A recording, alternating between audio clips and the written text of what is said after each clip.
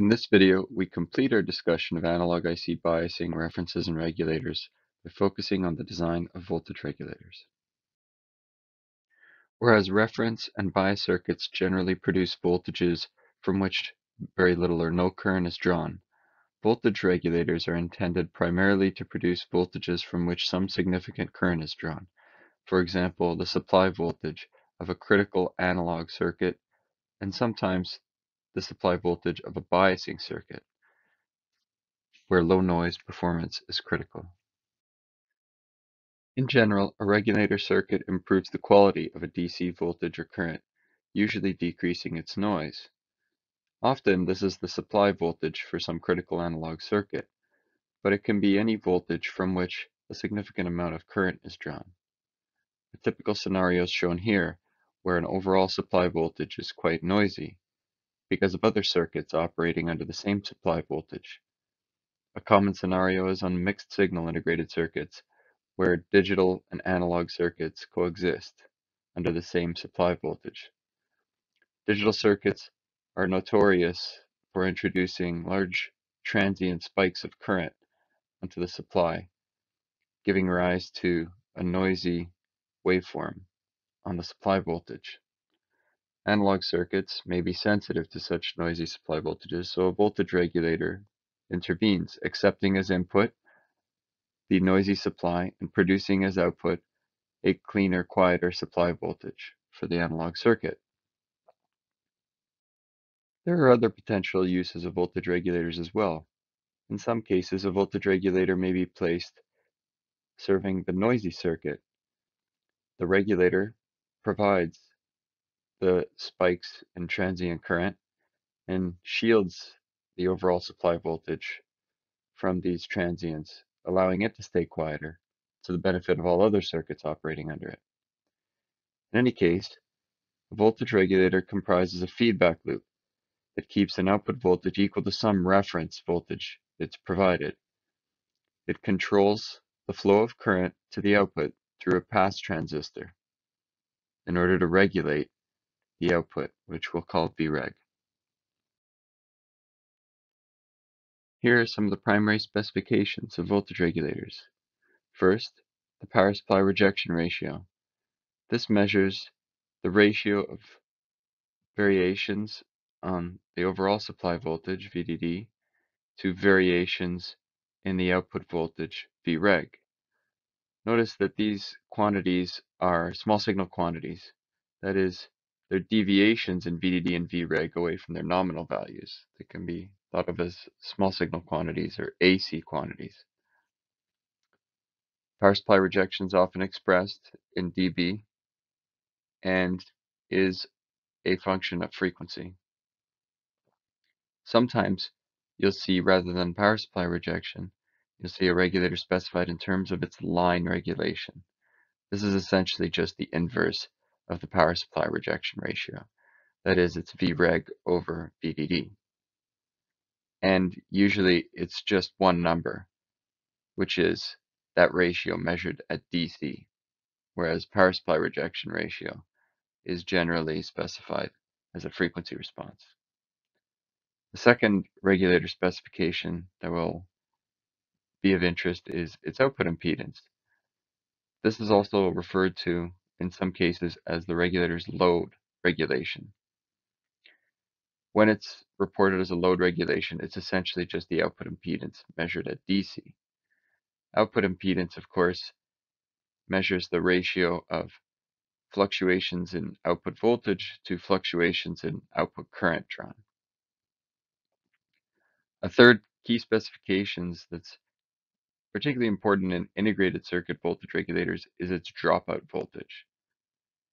This is the minimum difference that can appear between the voltage supplying the regulator, VDD, and its output regulated voltage, Vreg. In general, Vreg will have to be at a lower voltage than the supply VDD. And so this implies some waste or inefficiency in the regulator, as we'll see. Uh, so in many cases, we'd like to minimize this difference. So the dropout voltage is the minimum difference that we can have between VDD and VREG. A low dropout voltage implies energy efficient operation and moreover it allows a voltage regulator to operate even under a relatively low supply voltage and still provide a reasonable voltage of Vreg for analog circuits to operate under. This gives rise to the common um, name low dropout regulator, which is a particular type of voltage regulator that is often required on analog or mixed signal integrated circuits with low supply voltage.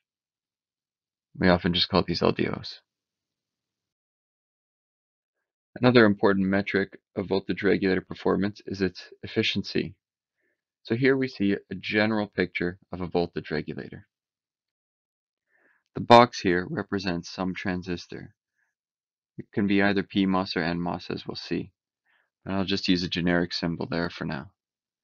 You'll see that its gate voltage is regulated by an op-amp in a feedback loop. Assuming the loop is stable, we should have a virtual short circuit at the op-amp's input so that the output Vreg is approximately equal to the reference voltage provided to the regulator.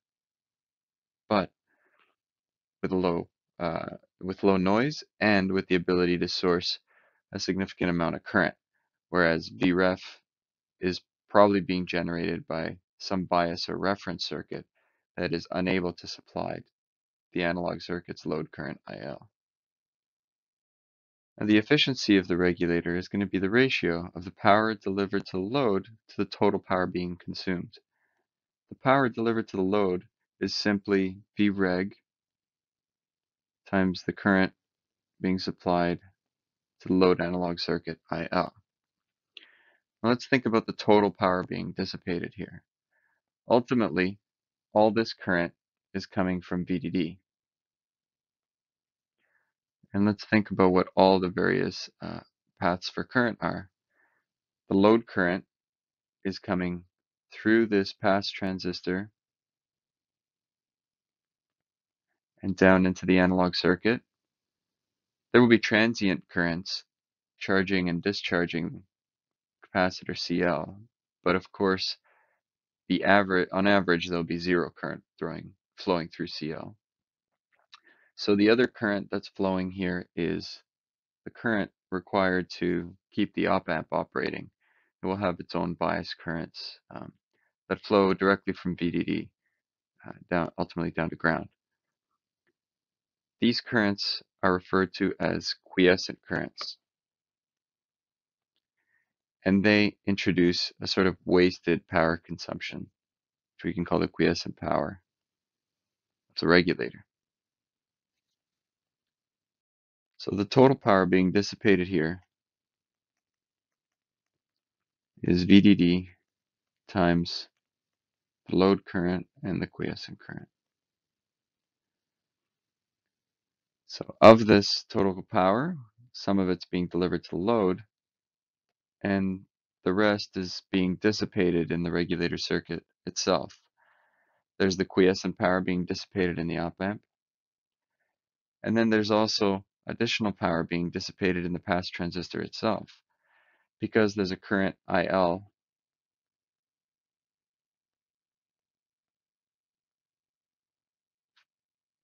flowing through a voltage drop across that pass transistor.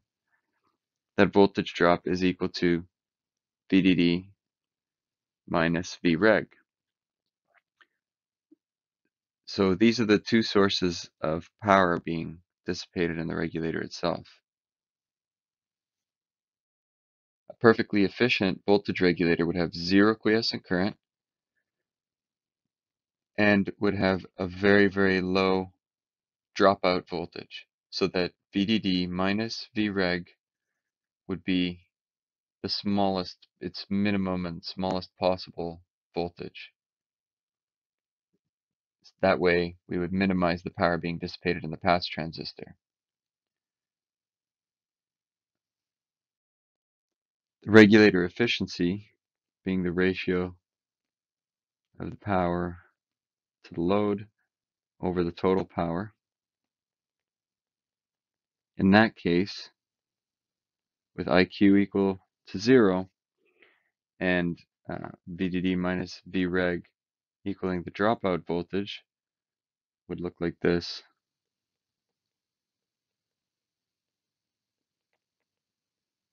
Got IQ equals zero and VDD equals Vreg plus VDO.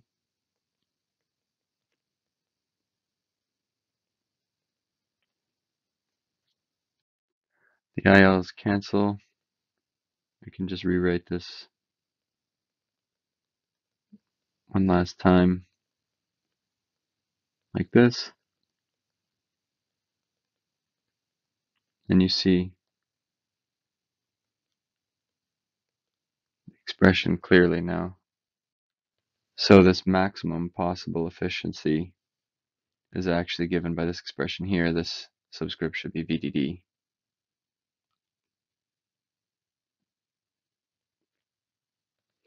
So in summary, if we want to make the most efficient regulator possible, we want to minimize the quiescent current required to bias the op amp, and we'd like operation with low dropout voltage, VDO.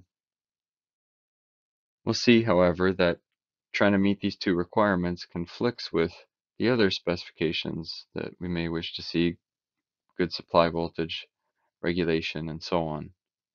In fact, the design of a voltage regulator is quite a challenge. Next, we'll consider the design of voltage regulators with two possible types of pass transistors. Here we see an NMOS pass transistor for Q1. Now, considering that the pass transistor has to carry all of the load current, keep in mind that it's quite likely a fairly large transistor. The more load current we require, the larger Q1 has to be. And this can create significant parasitics at its gate, identified here by C1. These capacitances load the op-amp's output node. At the same time, we generally have a load capacitance CL introduced. This is an explicitly introduced capacitor that helps provide spikes in current required by the analog circuit. It's like a decoupling capacitor that you may be familiar with. It's a common practice whenever you want a quiet supply voltage to include a capacitor like this to help smooth out any bumps that arise in it. So we potentially have two large capacitances in this feedback loop, which can give rise to two fairly low frequency poles. This then can complicate stability of this feedback loop. It's not immediately obvious whether the time constant associated with this node or the one associated with this node should be dominant. Now, in the case of an NMOS transistor, the situation becomes a little bit simpler because the output impedance of transistor Q1 is hopefully low on the order of 1 over GM1. And so it's quite likely that the pole here can be made dominant. However, if it's desired to place a very large capacitance at the output in order to provide very good decoupling of the regulator Vreg, for example, this may be desired when the analog circuit is drawing particularly spiky current waveforms. And so the high frequency currents, uh, portions of the current IL can be provided by this large load capacitance. So in such cases, it may be desired to make the output pole dominant. In this case, the time constant associated with this node has to be pushed to much higher frequency than the output pole, and this may generally require higher power consumption in the op-amp and more quiescent current, therefore less efficiency, in order to ensure that the output uh, of the op-amp has a lower output resistance. A good property of using the NMOS, an NMOS device as a pass transistor Q1 is that once the feedback loop is stable, it's quite likely to have good power supply rejection. And that's just because if you imagine noise on the supply, that arrives at the drain of Q1 and doesn't therefore modulate the gate source voltage of Q1 and therefore to first order approximation shouldn't affect the current being sourced by Q1. Of course, Q1 will have a finite RDS and there will be some impact um, on that drain current due to the noise on VDD, but it will be um, much less than the case where we uh, will have a PMOS transistor there. So the benefit of the NMOS pass transistor is that it generally has uh, good power supply rejection. The downside is that it's difficult to achieve a low dropout voltage with this structure because you've got to provide at least a VGS voltage drop here and then the op amp itself uh, has to therefore have a supply voltage even higher than the gate voltage of Q1. So this generally at least another V effective has to be provided between VDD and VG1. So um, from VDD all the way to VREG, it's quite likely that we have to allow for at least one threshold voltage uh, for Q1 plus two V effectives, one inside the op amp and one for Q1.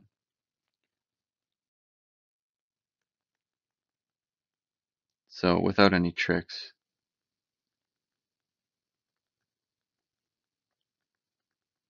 you're certainly looking at many hundreds of millivolts. So imagining a supply voltage of, let's say, only one volt, um, this kind of architecture may be very difficult to accommodate. There are a couple of techniques people have devised to try to make low dropout uh, regulators with uh, low supply voltage. One is to make use of a native, so-called native transistor for the NMOS pass transistor Q1 if it's available. Native transistors have very low threshold voltages, even equal to zero or sometimes even negative threshold voltages. So this will obviously help minimize the dropout voltage. Another technique is to uh, use a different supply voltage for the op amp, a higher supply voltage for the op amp, but then a lower supply voltage over here, providing the load current IL. This, uh, this can also help reduce the dropout uh, voltage. Most of the current, remember, will be flowing from the drain of Q1. So the quiescent current flowing from the higher op amp supply voltage will have less of an impact on the regulator's efficiency than uh, the load current.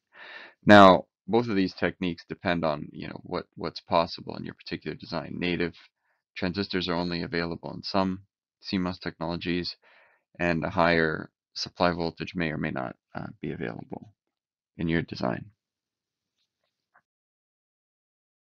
Shown here is the conventional so-called LDO architecture.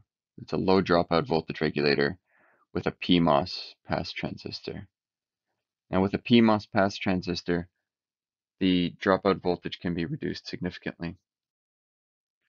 We've only got to maintain a V effective here.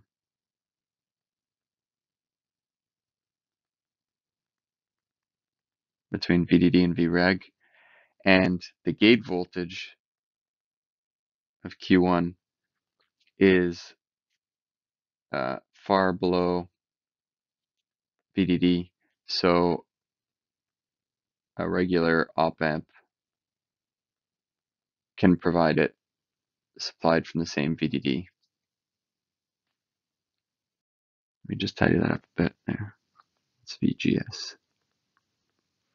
So um, the gate voltage of Q1 is a V effective plus threshold voltage below VDD.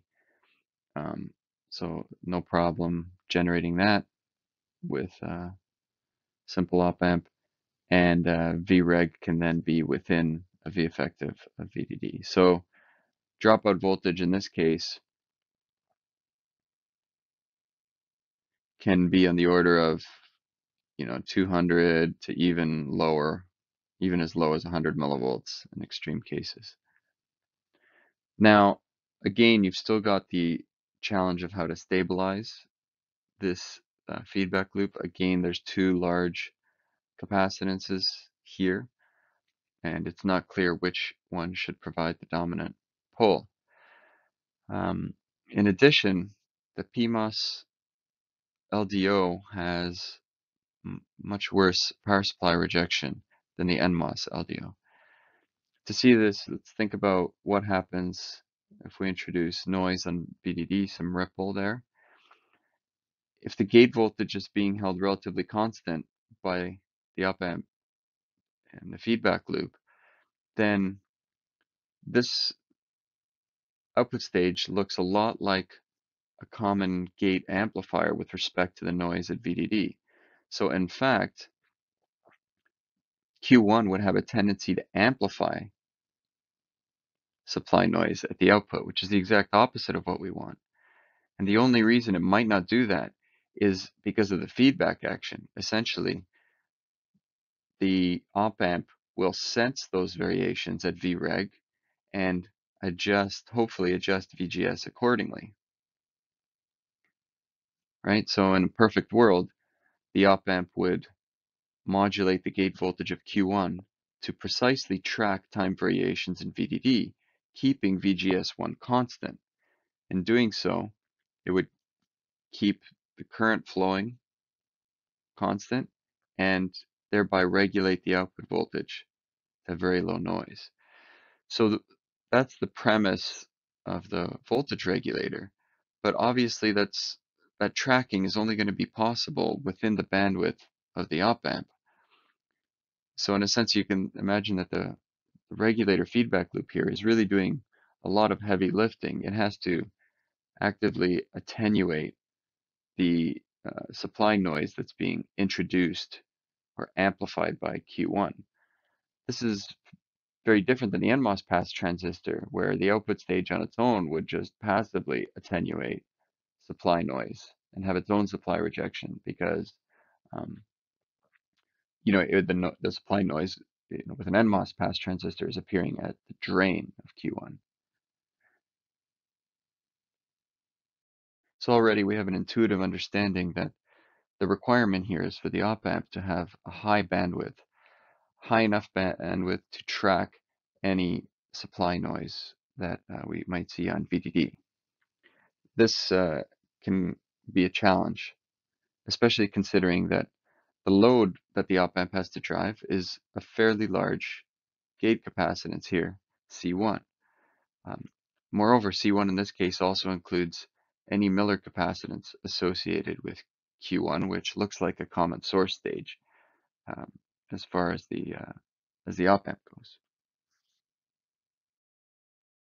So let's consider the analysis of the feedback loop in the LDO a little bit more carefully. Here we've made a small signal model of the PMOS voltage regulator. We've replaced the op amp with a, a first order OTA or single stage OTA model that has an amplifier transconductance capital GMA and an output resistance ROA. It's driving the uh, capacitance, the gate capacitance of Q1. Model for Q1 appears here.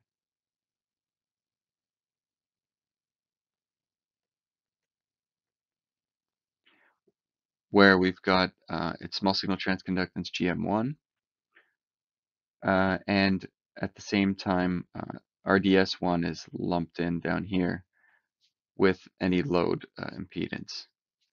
Uh, this node here is the supply voltage VDD, which serves as a small signal ground. And then feedback comes from VREG back to the op amp's positive terminal. So in order to study the loop gain L, we break the loop here and we introduce a test source VT. And it's the the analysis of L in this case is relatively simple because we've just got two single time constant stages here. We've got the single time constant here formed by the output resistance of the op amp and the capacitance at uh, V1. Let's call this C1 prime, where C1 prime is really the parallel combination of all the capacitances connected at V1. And then we've got a second time constant arising at the output, which um, is really just RL prime and CL. So these two single time constant responses give rise to two poles. One is, we'll call omega PA. That's the one at the output of the amplifier. The A reminds us of that. And that's just 1 over time constant 1. The second pole um, is the one that arises at the output, at the load. That's 1 over our time constant 2 that we identified. And the overall loop response L just has these two poles and the DC gain in the numerator. Now the straightforward option here is dominant pole compensation where one of these poles is at a much lower frequency than the other. But again, it's not obvious which of these two poles is going to be dominant. C1 prime is generally going to be large in order to permit Q1 to deliver a decent amount of load current. And at the same time, it's likely that we want CL to be large to help us filter supply noise from VREG at high frequencies. So it's not clear whether it's better to make this pole dominant or the output pole dominant. Now, in order to understand the choice that we make about how to compensate this loop, it's important to look at the impact of that choice on the supply rejection of the LDO. So here's a small signal circuit that will allow us to analyze the supply rejection. We've, in this case, introduced an AC source on the supply, shown here, VDD. So this represents small time variations in the supply voltage, and we're interested in the frequency response from there to the output of the regulator, Vreg. Now, uh, the way we're going to find that is to find the response from VDD to VREG with the loop broken. And that is simply going to be the response of the common gate stage.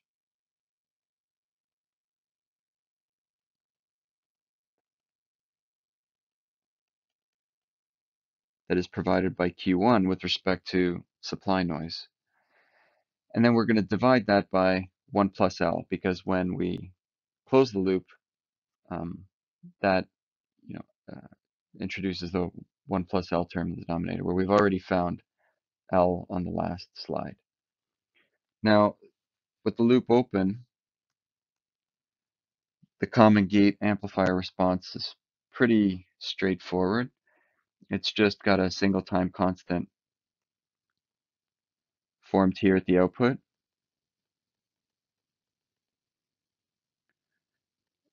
Now I'll call it RL prime because we have to consider RL in parallel with RDS1. And uh, that's with load cap there. So it's single time constant response with the loop broken. And the DC gain is simply GM1 RL. Actually, I believe there should be a plus sign here.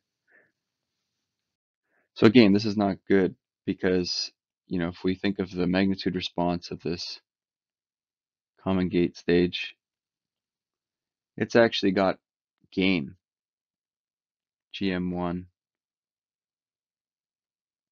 RL prime. That might be a gain of 10 dB or much more even, um, up to this output pole, 1 over tau identified here. So we're relying on the 1 plus L term in the denominator here when we close the loop to help knock that down and give us some good supply rejection. Knock it down not just to 0 dB, but again, remember the whole point of the regulator is that it should actually attenuate supply noise. So we want to have the magnitude of this term here being much larger than the DC gain of the common gate stage, um, all the way up to, you know, beyond the bandwidth of this common gate stage, beyond this pole at 1 over tau. So on this slide, we're putting this all together to find the uh, supply rejection response of the low dropout regulator. And uh, this will hopefully reveal the design trade-offs that we're interested in. So here again, we've just sketched the plot of the magnitude response the common gate stage with loop open. We see its DC gain GM1 RL prime. And here we're plotting um, the magnitude of 1 over 1 plus L.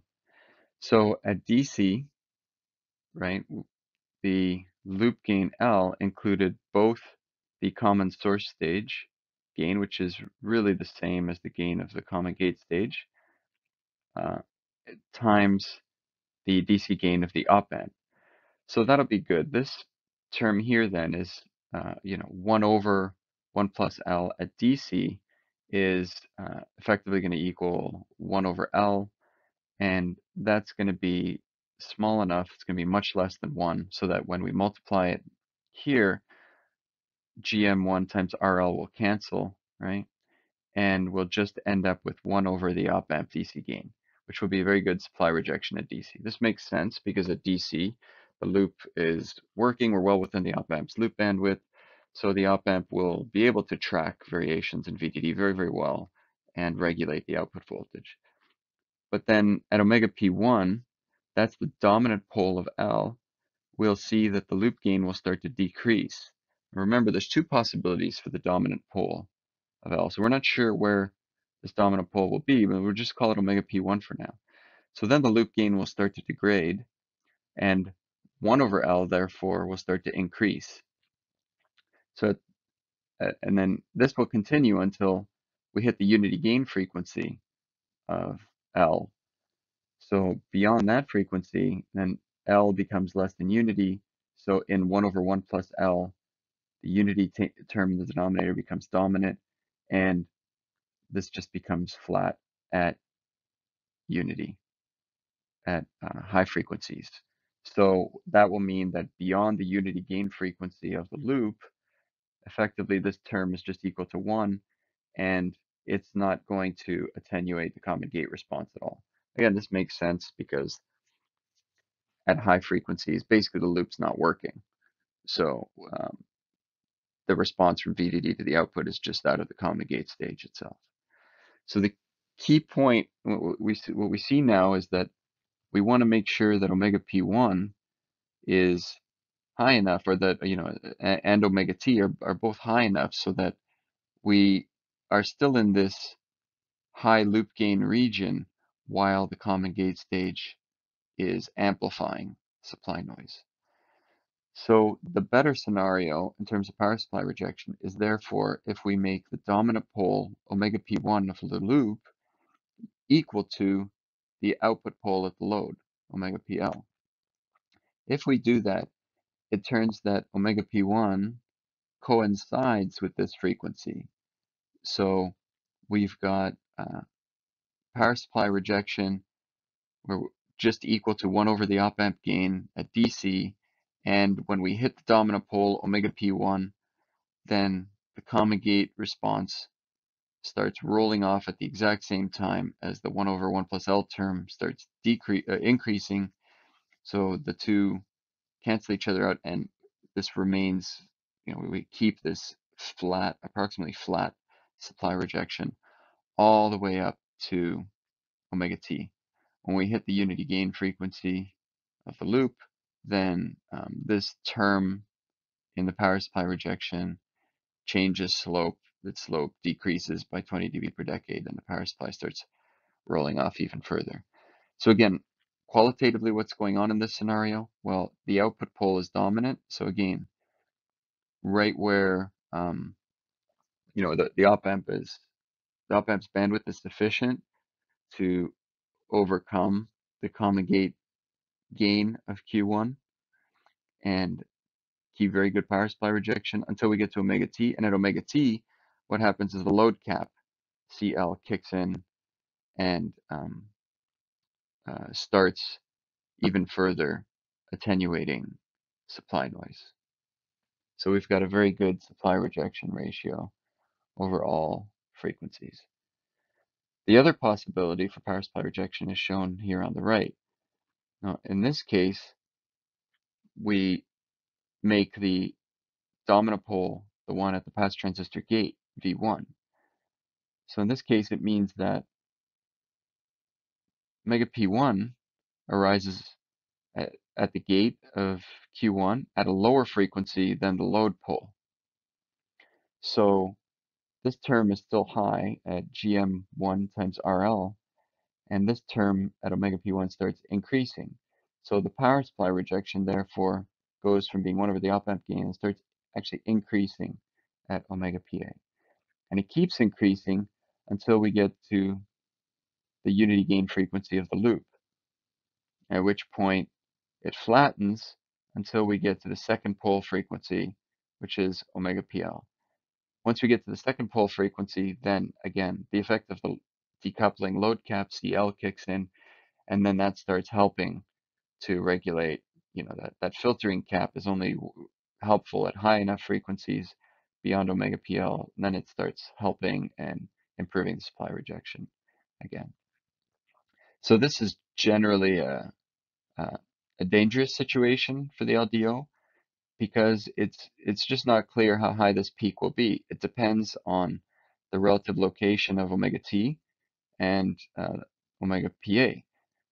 But by definition, omega t needs to be a you know fair bit higher than the dominant pole omega p1 in order to have good um, in order to have good stability of the loop. So we've probably got quite a large frequency separation here. Moreover, the second pole we know should be at or usually beyond the unity gain frequency of the loop. So it means that, you know, really this peak can go quite high and in some cases in a poorly designed LDO will actually cause the supply rejection to go um, to become worse than 0 dB. That is, it will actually be amplifying supply noise. That would obviously be a poorly designed LDO, and people have come up with lots of clever tricks to avoid that.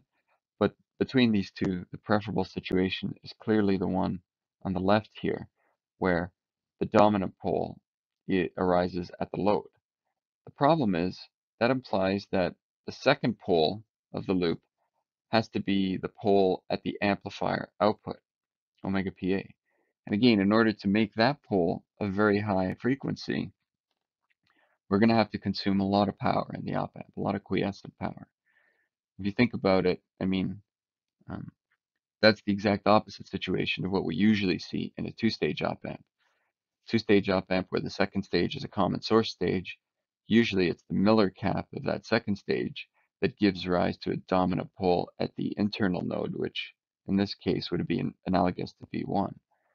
But here we're saying that for an LDO, in order to have good supply rejection, we'd like the output node to be the dominant pole of the two-stage amplifier here. And so that's a kind of difficult scenario um, to realize.